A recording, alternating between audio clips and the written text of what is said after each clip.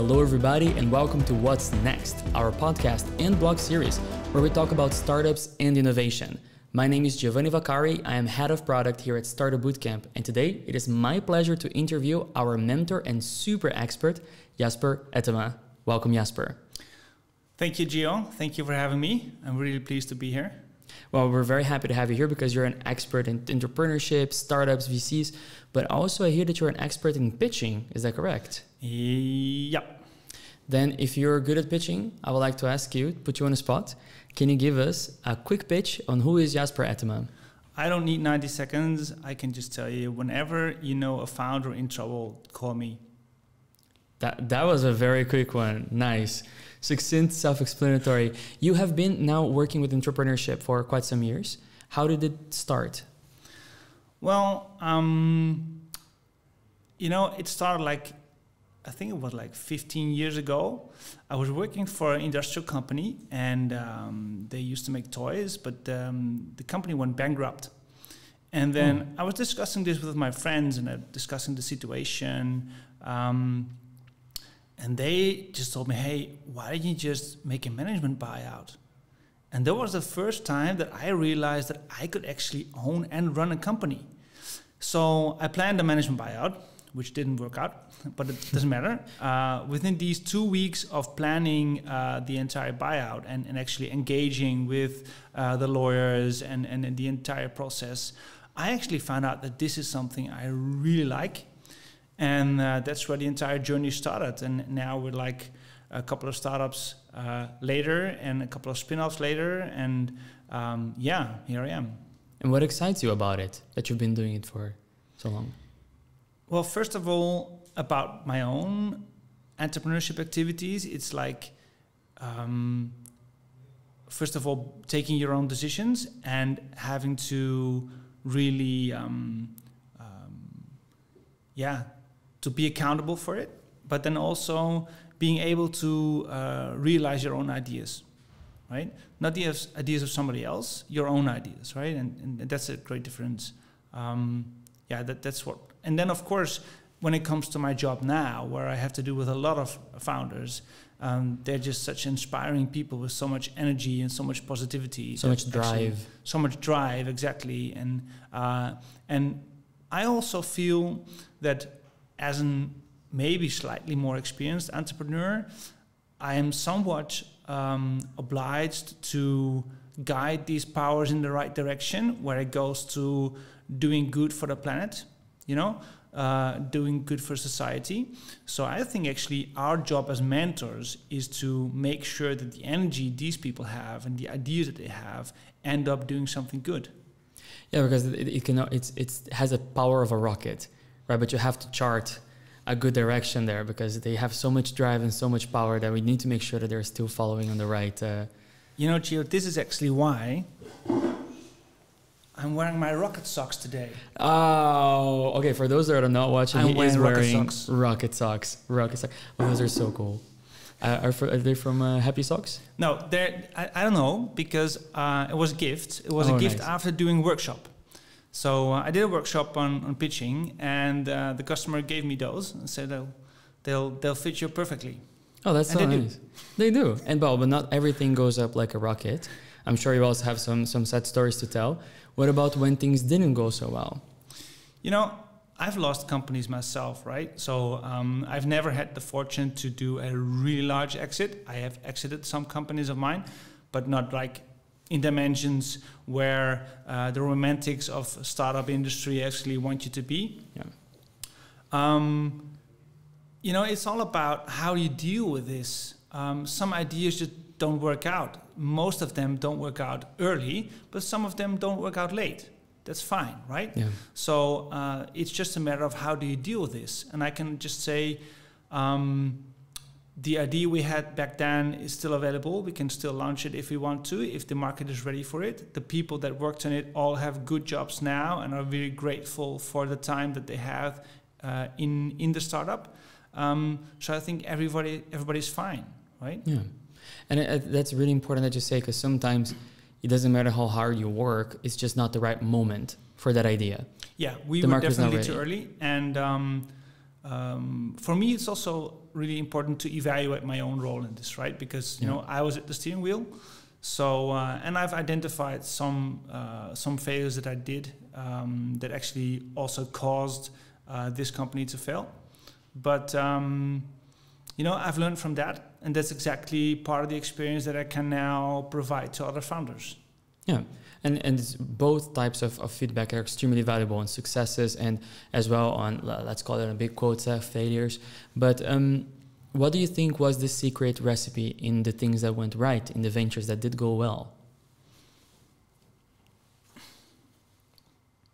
Well, I think basically back then when I started, there was no such such thing as lean startup, right? Nobody knew what it was, or um, but you know, lean startup, the cycle of of um, uh, plan, execute, measure, right? It's like um, everybody has been doing this. You just have to look at quality management. The the the Chinese automotive uh, constructors have been doing this for ages, right? It's just a matter of like like planning what I'm going to do, do it, and then evaluate what I did, and that's actually the cycle of life. So this is something that we implemented in in the companies that I ran, um, uh, like in every stage of the company, like from day one. Nice. And I think that that brings me to my next point, which is as well doing that is not enough. Knowing how to sell that as well is such a key part because you can have the best idea, but if you can't communicate it, and I hear so many founders saying, "Oh, but I can't make this in a minute and a half." And I started my idea is too complex for that. What do you have to say about you know those people that say, "Oh, my idea is too complex for a 90 second pitch"? You know, um, pitching workshops is actually something, some of my specialties, right? I've, I've got a really good uh, pitch workshop at the start, and, and the customers that I uh, serve with this are really pleased because it's something different from the things that actually offered uh, on the market. Um, and it basically always starts with the acknowledgement that any idea is useless if you cannot communicate it. Now, I'm not saying you can sell it, right? Selling and communicating are two different things, or maybe um, selling is part of communicating, right? Good it's a special niche, maybe, right? But also at idea stage, you have to communicate your idea to find co-founders. You have to communicate your idea to actually get feedback. You know, how will you get feedback from mentors if you're not able to actually communicate your idea? So this is very, very crucial, and this is why I have designed two methodologies: one for um, idea stage startups and one for pre-seed seed stage startups.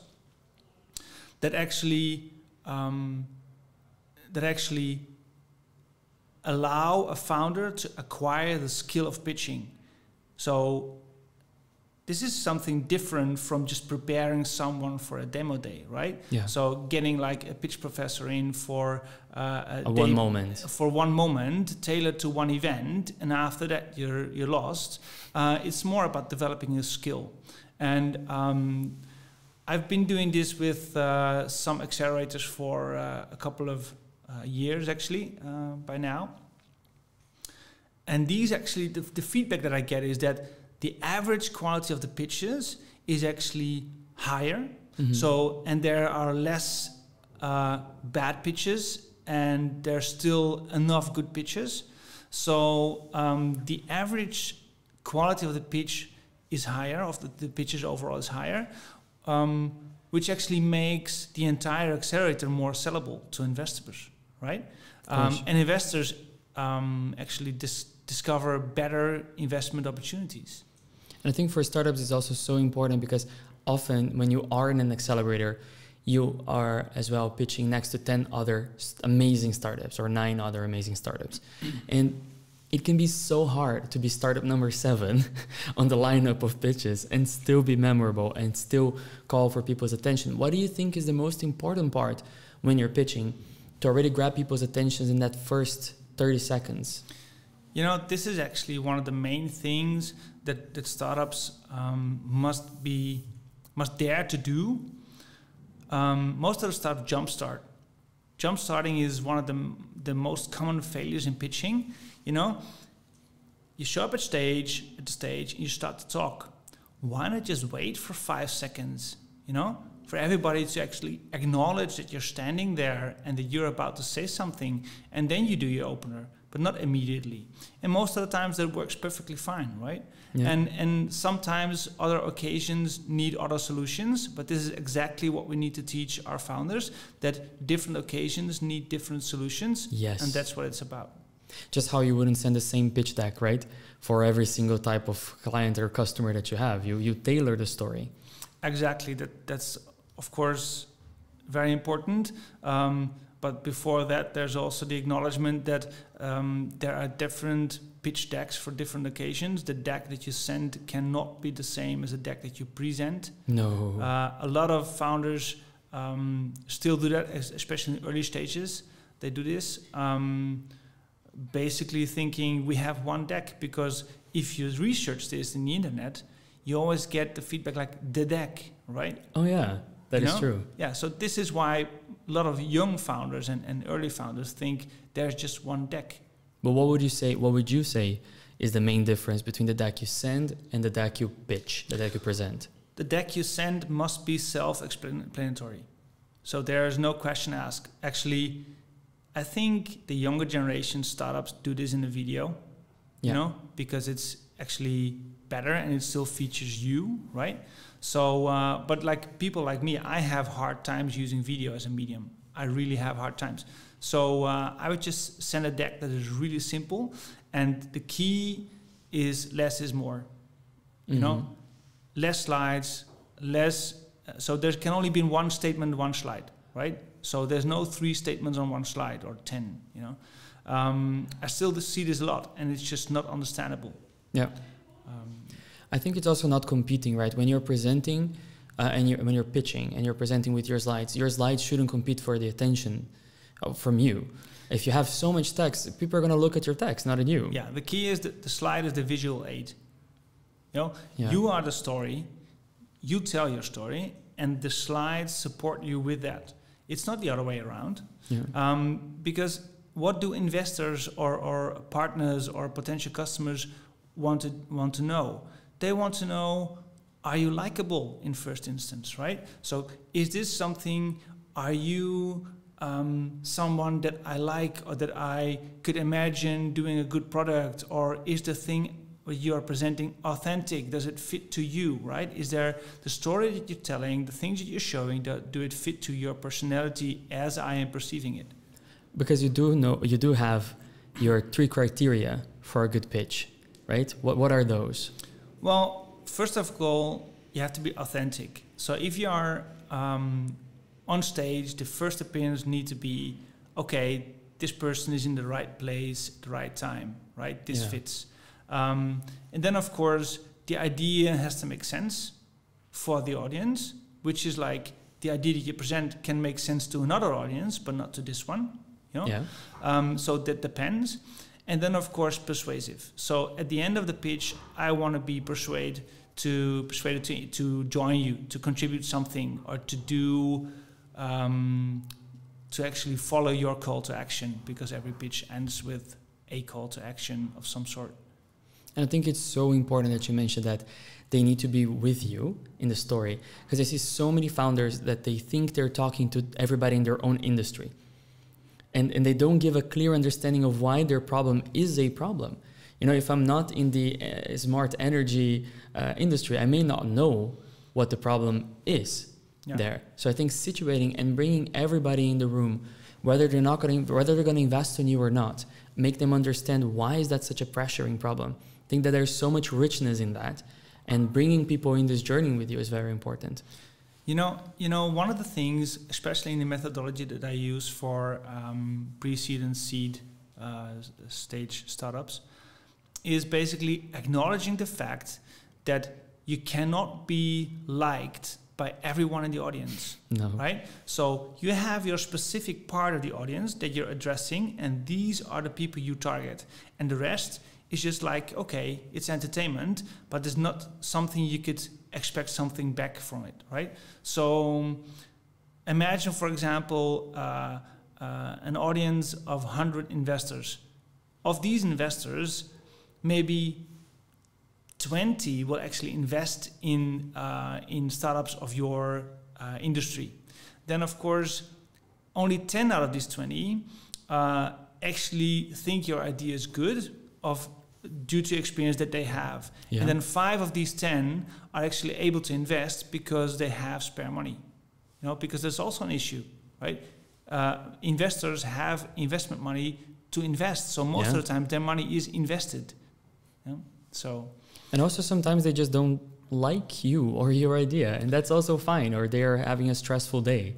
I mean, you can't really please everybody, and that that feedback on your pitch should never be a feedback on you as a founder. Should be maybe on the story, the way you're telling it, but uh, never on, on a personal level. I feel like that can be the case. No, of course not. And this is something um, you'd have to acknowledge quite early. Um, you need a lot of pitches to actually attach to people. and um, one of the main things is actually the acknowledgement that um, there's no chance that uh, a investor will come up to you after you, the first pitch he's ever seen of you and then say, "Where can I sign?" Oh, yeah, no. That's bogus, you know. That that's ridiculous. No, yeah. um, especially VCs, but also business angels tend to watch you for a amount of time, right? So like for a couple of weeks, months, you know. So therefore, first of all, it is okay if you uh, do not go away from a pitch or, or stage with a signed agreement, you know. Um, yeah. so don't expect too much, but still, you should also be aware that your performance during this period has to be at least constant or continuous, and the message that you actually present at your pitches has to show some traction. So there has to be improvement from the first time the investment saw you and the last time he sees you, right? Yeah. And if you don't do that, nobody will ever invest, right? Which is why it's so important as well to keep updating your pitch and not be afraid that you keep updating your pitch, not be like, oh my God, always constantly change. No, that's a good thing. Exactly. You're showing progress exactly. and also showing coachability, Mm. right? I keep hearing from a lot of investors and mentors, oh, this team is very coachable. Yeah, well, actually, um, Gio, I, I work with startups a lot, but I, I am mostly contracted by accelerators. So I, I actually work for accelerators and venture uh, funds uh, to support them supporting their startups. And this is actually what they feedback to me, right? So the accelerators actually feedback to me, okay, some people in the team are not so coachable, right? So what, Yeah. could, what can we do? And um, most of the times it's a personal relationship kind of issue hmm right? So uh, it's really important for an accelerator or for a VC to build up the relationship with the team to actually be uh, able to provide them with information, experience, knowledge, right? Yeah. And also knowing when to stop pitching. Because sometimes we are already convinced we need to hear from you how your business is actually doing. And I feel some, tar- some startups are constantly in this pitch loop that they need to continuously convince. Yeah. How do you experience uh, when startups are keep, keep keep just trying to sell themselves to you? Um, Or maybe I can phrase that better. Like, how can a mentor or uh, somebody that wants to help the startup get the startup out of the loop of okay, I already understood you and I buy you. Like, let's work together now. you know, there are two different situations in here because um, from a partnership side, if the if the if the startup approaches me through an event, for example, then uh, yes, it can happen that they're trying to convince me all the time. But also then, um, obviously, there is not yet a relationship where we can have just an open talk. So I'm doing something wrong as well, right? Um, uh, either I haven't said a clear no, or I didn't give some signals that yeah, okay, I like it, but you know, I have some questions. Um, so they're still selling. Um, uh, on the other hand, when you're a mentor, right? Um, for a mentor, that means you're not asking the right questions, um, or you the questions that you're asking are not actually received by the founder. Mhm. And that's actually one of the issues with mentorship that a lot of mentors have really, really good knowledge, um, but are not able to transfer it. And for the startups, on we talked about you know being authentic and uh, being persuasive, right? Bringing people with the idea. Uh, these are things that they should do. But what do you think are the biggest mistakes that the startups currently make on pitching? Well, let's turn to idea stage startups, right? Mm-hmm. they they spend way too less time on explaining the problem, you know, um, because every idea starts with a problem for which I have a solution, which is the idea, right? Um, and the problem that I have identified has been new to me. So how can I assume that somebody else that has not have the same idea identifies the problem as such immediately? You need a lot of time. There's this famous quote about Einstein, right? So he said like, uh, if I have 60 minutes to to, uh, to save my life, I would spend 55 minutes on trying uh, Yeah. on, on, on, on the, the problem and fi- five minutes on the solution. Um, that's basically it, right?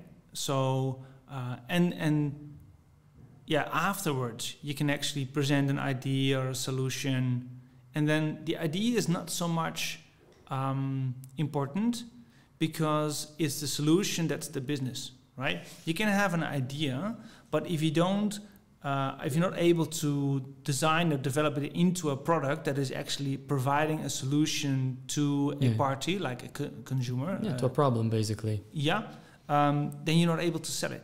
Yeah. So an investor will always be interested in the solution and not in the idea. Also because, let's be honest, how many, especially in the early stage phase, the ideas are going to change. There's so much room still to pivot, and uh, as long as you're in love with the problem, and why is the problem so important for you that you're going to solve it? Yeah, the way you're going to solve it may change, but you're still, you know, attached to that mission of solving it. Yeah, and, and it's very dangerous actually to have a lot of ideas without executing one. Indeed. So it's better to actually uh, execute a few ideas and learn from it than having many ideas. Agreed. So- Well, and now you're transferring all this knowledge. What inspired you to become a mentor? Well, um, back in 2018, I was hired by a corporate uh, in Austria to Mhm. design an accelerator. It was a global accelerator. It was really exciting, and Nice. um, yeah, it was a really nice journey. We had a really cool team. I'm still working with a lot of uh, people from this team, um, and um, yeah, that actually inspired me to focus on helping accelerators because uh, I then understood that accelerators are actually um, the um, how you say it they're the boosters for a startup right so Mhm. you can make so much uh, progression in these couple of Yeah. weeks or months that you are in accelerator if you use it the right way if there's a good fit um, yes that, that this is actually quite an intense time and being able to help founders during this inten- intense time is a really nice thing to do And you're now with Startup Bootcamp for how long? since this summer. Nice. Um, so uh, yeah, actually, um, I've been targeting uh, Startup Bootcamp quite on purpose, actually. Um, and then uh, Patrick De Zeeuw uh, matched me up with Liz, and Liz got me into the sustainability uh, uh, uh, program, which I actually quite like. Uh, and it's just such a special program, you know. If you see only the, the way it's designed by itself, with the IPO and the people that engage with it, it's just amazing, uh, and the dynamics are just great. So Thank you. I'm so, happy to be in. and you recommend it to other mentors. nice. And uh, what is the difference then in helping the startups that are impact driven? Because they also need to pitch, they also need to sell, um, but they are there for an impact. I don't like this entire discussion or separation between impact and social business and other business and common businesses, you know, because why separate them? Okay. you know so so of course she can have a like an accelerator with a sustainability touch okay that's fine right but still the business itself i will never call my business a um, an impact business or whatever because the problem is that in our world an impact business tagged as such or a social business tagged as such does not is not an investment case or a business by itself you know what i mean because of the tag that it has that it is social so it's for it's for the good you know so it's like it's like You know, you know what I mean, right? Yeah. This is like, so it it's it will not be as good a business as a uh, a common startup is, which is actually bullshit. Yeah. You know? It's a business like any other. Yeah, it's it a just business like any happens other, to help the environment or the planet or the people. which every company should do. Actually, actually, there should be there should be uh, there should be a um, a word for companies destroying uh, our planet or are doing bad to our society. That is right? a good one. Not not called these Yeah. startups, the impact startups. We'll call the other ones the, this the is shitty like ones. this is like for example in our food industry right if you look in the supermarket the bio food that is actually the purest of the food that we have has to be named bio food and the rest is common food but the common food has all these edits in it, Artificials. artificials in it and whatever pesticides and whatever right So that should so be the the artificial way food. around yeah, so it's the other way around um, so Oh, that makes complete startups. sense. And also, you know, if you want to change, I, I I love startups that are out there for impact because, man, all you gotta do is one to you know create your startup in an equal way. All you gotta want to to, to do is just one to. I just love that. You know, you can really make a change, whereas you know the government can take super long, a corporate can take much longer to inflict change, but a startup can go from the start already in a more beneficial way for the planet. So Yeah. why not do that? I think innovation is the only way to save our planet. This is an acknowledgement that I had in the last three years that, is, that I was thinking about okay, we've come so far with the Industrial Revolution, we've screwed up so far so much, right? So why not use the same powers that actually brought us this far to actually turn it around? And actually, I cannot understand why it is so hard to do. You know, you have this um, uh, this COP meeting in, in, in, in Glasgow, right? Yeah. Um, where I think, yeah, why was it so easy to come this far and destroy so much? And why is it so hard to turn it around? Yeah, there is um, a, a quote from that that I really love, which is, "If we individually can cause such instability in the planet, we together can definitely uh, fix it." And I think that that was a really beautiful uh, call for, for for action. Unfortunately, my call for ending is closing, but I do have one more, a few more questions, a fireside chat to ask you. Uh, sorry, fireside question. What is your favorite book now? Well, um, a, um, a person that I know within the local uh, ecosystem in Graz uh, uh, just uh, uh, gave me a book, and it's about uh, it's from an um, an Austrian uh, author about the startup scene. It's called Business Angels Devils, where the angels is, has a strike through it, so it's business devils. Uh, with all the insights, how and how not, and why not to engage with business angels. Um, I've only started reading it, but it's very promising. Um, and I think it is very good when experienced entrepreneurs like the author, his, his name is Florian Kantler, actually tries to um, provide his knowledge to the ecosystem uh, in any way. And, and the book is just one way. Car or bike? Bike, bike. Hey, today I was traveling in by train on Amsterdam and I have checked into my hotel and was here in the Johan Huizingalaan uh, within 45 minutes. That can only be done by bike, That right? is true. so That is true. no bike, definitely. Plane or trains? Trains. I traveled here by train, the night train. Oh, it's so nice, right? I also you know, love it. Yeah. you know, I saved an entire day. If I would have flown in today, I'd be only be here like at two o'clock. Yep. Now, now I'm in at eleven. also, right, you know, so- it's airport security. It's just I don't mind if I sleep at home or in the train. Indeed. What inspires you? Um, people with good ideas. What advice would you like to give to your 25 year old self? Wow. Maybe take a little bit more advice here and there. And now he became a mentor. Thank you so much, Jasper. It was a pleasure talking to you. It was my pleasure. This was What's Next. Feel free to follow us on Instagram at Startup Bootcamp and also to follow up uh, on our podcast. It is available everywhere great podcasts are found. See you next episode.